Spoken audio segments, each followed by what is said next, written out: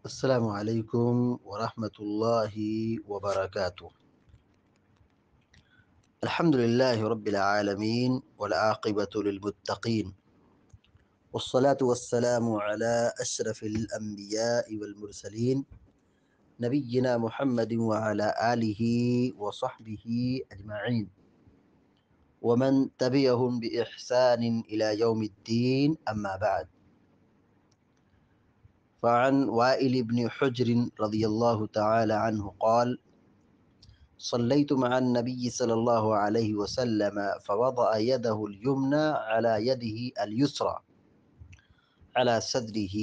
أخرجه ابن خزيمة. أخرجه ابن خزيمة. بلوغ المرام من عدلت الاحکام کی حدیث نمبر دو سو سترہ ابھی آپ کے سامنے پڑھی گئی ہے۔ حدیث کے راوی سیدنا وائل ابن حجر رضی اللہ تعالیٰ عنہ ہے۔ وائل ابن حجر رضی اللہ تعالیٰ عنہ صحابی رسول ہیں۔ حضر موت کے بادشاہوں میں سے تھے۔ جب یہ اللہ کے نبی صلی اللہ علیہ وسلم کی خدمت میں اپنے وفد کے ساتھ حاضر ہوئے، تو آپ نے ان کی تقریب میں ان کے اعزاز میں اپنی چادر مبارک ان کے بیٹھنے کے لیے بچھا دی۔ اور ان کے لیے اور ان کی اولاد کے حق میں پیارے نبی صلی اللہ علیہ وسلم نے برکت کی دعا فرمائی۔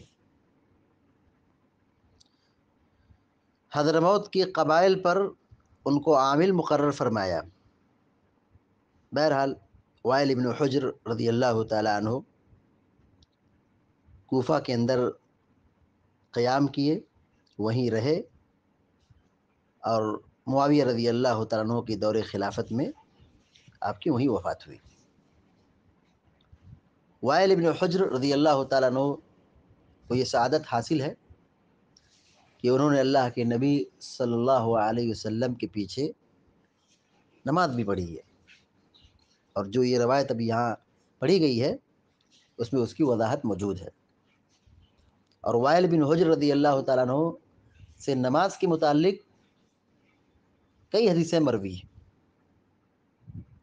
ایک حدیث ہے وائل بن حجر رضی اللہ تعالیٰ عنہ سے رفع الیدین کے سلسلے میں اور دوسری حدیث ہے نماز میں ہاتھ باندھنے کے سلسلے میں کہ اللہ کے نبی صلی اللہ علیہ وسلم نماز میں ہاتھ کیسے باندھتے تھے۔ وعن وائل بن حجر رضی اللہ تعالی عنہ قال، صلیت مع النبی صلی اللہ علیہ وسلم. وائل بن حجر رضی اللہ تعالیٰ عنہ سے روایت ہے، وہ کہتے ہیں کہ، صلیت مع النبی، صلیت میں نے نماز پڑھی۔ صلیت میں نے نماز پڑھی۔ مع النبی صلی اللہ علیہ وسلم، مع من ساتھ۔ مع النبی، نبی کے ساتھ، صلی اللہ علیہ وسلم۔ میں نے اللہ کے نبی صلی اللہ علیہ وسلم کے ساتھ نماز پڑھی۔ فوضع يده اليمنى على يده اليسرى على صدري وضع يضعك معنی ہوتا ہے رکھنا۔ فوضع تو آپ نے رکھا۔ یدہ الیمنا ید منے ہاتھ۔ یمنا منے دایاں۔ یدہ اپنے ہاتھ کو۔ فوضع یدہ الیمنا تو آپ نے اپنے دائیں ہاتھ کو رکھا، سیدھے ہاتھ کو رکھا۔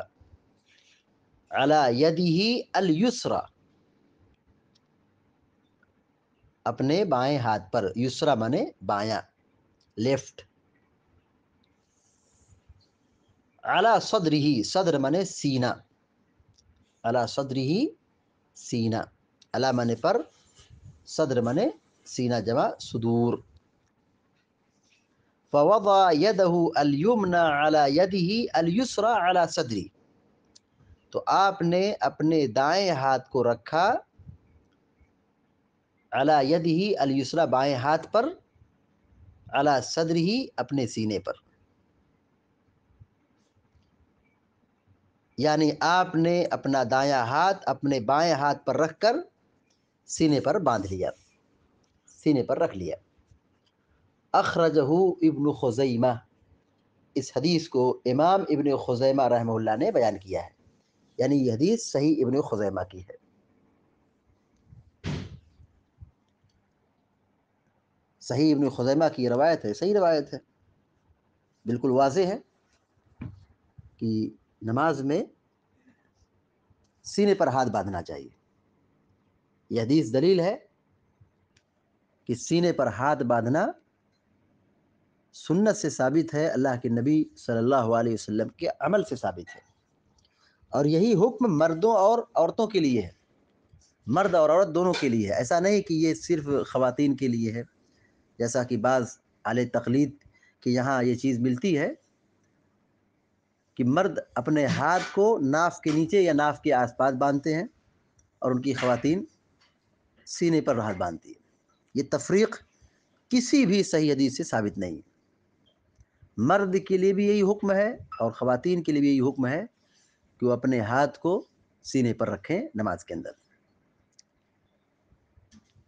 اللہ کے نبی صلی اللہ علیہ وسلم نے مرد اور عورت میں کوئی تفریق نہیں کی نماز کے سلسلے میں۔ سلو کمار آئی تمونی وسلی تم اسی طرح نماز پڑھو جیسے تم نے مجھے نماز پڑھتے ہوئے دیکھا ہے۔ وعن وائل بن حجر رضی اللہ تعالی عنہ قال، حضرت وائل ابن حجر رضی اللہ تعالیٰ عنہ بیان کرتے ہیں کہ صلی تو مع نبی صلی اللہ علیہ وسلم، کہ میں نے اللہ کے نبی صلی اللہ علیہ وسلم کے ساتھ نماز پڑھی، فوضع يده اليمنى على يده اليسرى تو آپ نے اپنے دائیں ہاتھ کو رکھا بائیں ہاتھ پر على صدره اپنے سینے پر۔ دائیں ہاتھ، اپنے بائیں ہاتھ پر رکھ کر سینے پر ہاتھ رکھ لیا، باندھ لیا۔ اخرجہ ابن خزیمہ، امام ابن خزیمہ رحمہ اللہ نے اس حدیث کو بیان کیا تو اس حدیث میں گویا کی دو باتیں بیان کی گئی ہیں۔ پہلی بات تو یہ ہے کہ ہاتھ کو نماز باندھنا ہے۔ پہلی بات کیا ہے؟ ہاتھ کو نماز میں باندھنا ہے۔ قیام کی حالت میں اپنے ہاتھ کو چھوڑنا نہیں ہے، باندھنا ہے۔ یہی سنت ہے۔ یہی اللہ کے نبی صلی اللہ علیہ وسلم کا عمل ہے۔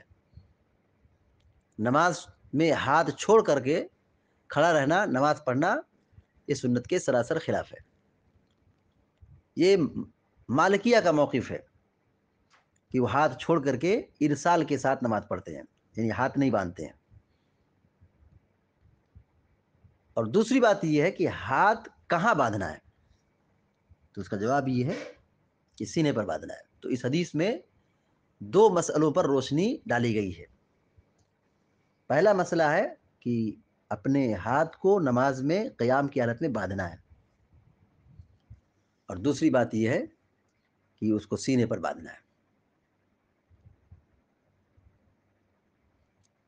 ہاتھ کیوں باندھنا ہے؟ اس کی حکمت کیا ہے؟ اس کی مصلحت کیا ہے؟ نماز باندھنے میں، نماز میں ہاتھ باندھ کر کھڑا ہونا، یہ کیا ہے؟ ادب کا مظہر ہے۔ اس میں اللہ کی تعظیم ہے۔ اور اس سے نماز کے خوشو خدو کی تکمیل ہوتی ہے۔ بندہ جب ہاتھ باندھ کر کے کھڑا ہوتا ہے، سیدھے کھڑا ہوتا ہے، اطمینان سے کھڑا ہوتا ہے، تو یہ خوشو خضو کے اسباب میں سے ہے۔ تو اللہ کے سامنے با ادب کھڑا ہوں تو با ادب کھڑے ہونے کا یہی طریقہ اور یہی طریقہ ہوگا کہ آدمی اپنے ہاتھ کو باندھ لے۔ کیسے باندھ لے؟ اس کا طریقہ ہی بتایا گیا ہے۔ دائیں ہاتھ کو بائیں ہاتھ پر۔ دائیں ہاتھ کو بائیں ہاتھ پر۔ یعنی بایاں ہاتھ سینے سے ٹچ ہوگا اور بائیں ہاتھ کے اوپر دایاں ہاتھ ہوگا۔ دایاں ہاتھ اوپر ہوگا بایاں ہاتھ نیچے ہوگا۔ یہ ہاتھ باندھنے کا طریقہ ہے۔ اور ہاتھ باندھنے کے تین طریقے بتلائے گئے ہیں۔ نماز میں ہاتھ باندھنے کے تین طریقے منقول ہیں۔ سیدنا وائل ابن حجر رضی اللہ تعالیٰ عنہ سے مروی ہے۔ کہ آپ صلی اللہ علیہ وسلم نے اپنے دائیں ہاتھ کو اپنے بائیں ہاتھ کی پشت پر، کلائی پر اور بازو پر رکھا۔ یعنی کبھی ہاتھ کو ہاتھ پر، کبھی ہاتھ کو کلائی پر اور کبھی بازو پر رکھ لیتے تھے۔ یعنی تین طریقے سے اللہ کے نبی صلی اللہ علیہ وسلم نماز میں ہاتھ باندھتے تھے یا ہاتھ رکھتے تھے۔ تو تینوں پر عمل کیا جا سکتا ہے۔ پشت پر رکھیں، ہاتھ کی پشت پر رکھیں، کلائی پر رکھیں، بازو پر رکھیں یعنی ہاتھ کو ہاتھ پر رکھیں، تو یہ چیز کیا ہے؟ سنت سے ثابت ہے۔ ہمارے دین میں سہولت اور آسانی ہے۔ تین طریقہ بتایا گیا ہے۔ تو سینے پر ہاتھ باندھنا یہ سنت ہے۔ دلائل کی روشنی میں یہی زیادہ سنت سے قریب ہے۔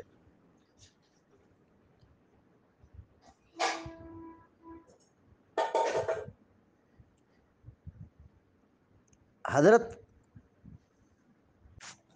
حضرت قبیصہ رضی اللہ تعالیٰ عنہ بیان کرتے ہیں کہ رسول اللہ صلی اللہ علیہ وسلم ہمیں امامت کرواتے ہوئے اپنے بائیں ہاتھ کو دائیں ہاتھ کے کے ساتھ پکڑ لیتے تھے۔ اس سے یہ ثابت ہوتا ہے کہ نماز میں ہاتھ باندھنا ہے، نماز میں ہاتھ چھوڑنا نہیں ہے۔ جمہور جمہور صحابہ، تابعین، نماز میں ہاتھ باندھنا مسنون اور مستحب قرار دیتے تھے۔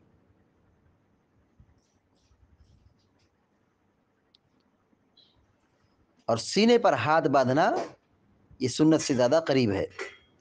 حضرت سہل ابن حضرت سہل رضی اللہ تعالیٰ عنہ سے مروی ہے۔ حدیث یہ ہے کہ لوگوں کو حکم دیا جاتا تھا کہ نماز میں دائیں ہاتھ کو اپنے بائیں ہاتھ بائیں بازو پر رکھیں۔ دائیں ہاتھ کو اپنے بائیں بازو پر رکھیں۔ تو اب جب بازو پر ہاتھ رکھیں گے تو یہی یہی بات سامنے نظر آئے گی کہ ہاتھ بالکل سینے پر ہوگا۔ ناف کے نیچے ہاتھ باندھنا کسی بھی صحیح حدیث میں اس کا ثبوت نہیں ملتا ہے۔ اور یہ اللہ رب العالمین کے سامنے کھڑے ہونے کی بدترین شکل ہے کہ کوئی آدمی کھڑا ہو اور اس طور پر کھڑا ہو کہ وہ اپنے ہاتھ کو ناف کے نیچے ہاتھ رکھ ہاتھ رکھ کر کے باندھے۔ یا ہاتھ باندھ کر کے کھڑا ہو۔ ادب کے ساتھ کھڑے ہونے کے جتنے بھی طریقے مذاہب میں موجود ہیں، سب کا خلاصہ اور ما حاصل یہی ہے کہ وہ اپنے ہاتھ کو سینے پر رکھ کر کے کھڑے ہوتے ہیں، اپنے آقا اور مالک کے سامنے سینے پر ہاتھ رکھ کر کے کھڑے ہوتے ہیں۔ ناف کے نیچے ہاتھ بات کر کے کھڑا ہونا یہ ادب اور تعظیم کے خلاف ہے۔ تو اس حدیث سے جو باتیں معلوم ہوئی، نمبر ایک، نماز میں ہاتھ چھوڑنا نہیں ہے، بلکہ ہاتھ باندھنا ہے، ہاتھ رکھنا ہے۔ کیسے رکھنا ہے؟ دائیں کو بائیں پر رکھنا ہے۔ دائیں ہاتھ کو بائیں ہاتھ پر رکھنا ہے۔ تیسری بات یہ معلوم ہوئی کہ ہاتھ سینے پر باندھنا ہے۔ ہاتھ کہاں باندھ کے رکھنا ہے؟ سینے پر رکھنا ہے۔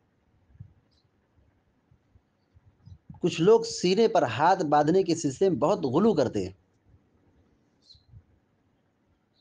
بالکل حلق کے پاس، سینے کے اوپر باندھتے ہیں، یہ سنت کے خلاف ہے، یہ غلو ہے۔ سینے پر ہاتھ باندھنے کا حکم دیا گیا ہے، ہاتھ رکھنے کا حکم دیا گیا ہے۔ تو سینے ہی پر جس کو سینہ کہتے ہیں، اسی سینے پر ہاتھ رکھنا چاہیے، ہاتھ باندھنا چاہیے۔ سینہ جہاں دل ہوتا ہے، جو نیت کا محل ہے، نیت کی جو اصل جگہ ہے، دل دل سے نیت کی جاتی ہے۔ دل کے ارادے کا نام نیت ہے۔ یہ نہیں کہ آدمی ہاتھ باندھے تو لے جائے حلق تک، سینے کے اوپر ہاتھ باندھ لے۔ تو یہ غلو ہے۔ ناف کے نیچے رکھنا یہ بھی غلط ہے اور سینے کے اوپر باندھنا یہ بھی غلط ہے۔ سینے پر ہاتھ باندھنا یہی دلائل کی روشنی میں سنت سے زیادہ قریب ہے۔ اللہ تعالیٰ سے دعا ہے کہ اللہ تعالیٰ ہم سب کو، آپ سب کو نیک بل کی توفیق دا فرمائے۔ رب العالمین۔ وصلى الله على نبينا محمد وسلم تسليما كثيرا. والسلام عليكم ورحمة الله وبركاته.